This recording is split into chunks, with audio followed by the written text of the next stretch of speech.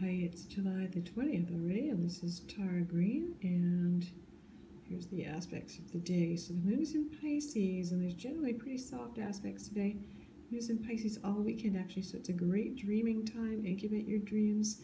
Uh, great time to meditate, to be creative, to kind of sit back and receive. That's Pisces, receptive. So psychic energies are very high, and then the moon will sextile Uranus and Taurus early in the morning, so that's good to get you kind of grounded and trust your instincts, but the moon will in conjunct Mars and Leo, so you may have no patience for people that are being very bossy all day, or maybe that part of you, your shadow Pisces, uh, people that want to take control. That's your own leadership ability needing to come out.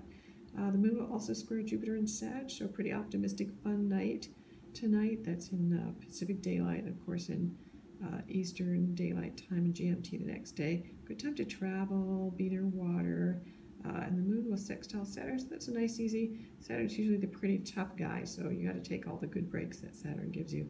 If you want to get in touch with me, I'm at taratarot.com or my website, infinitynow.wordpress.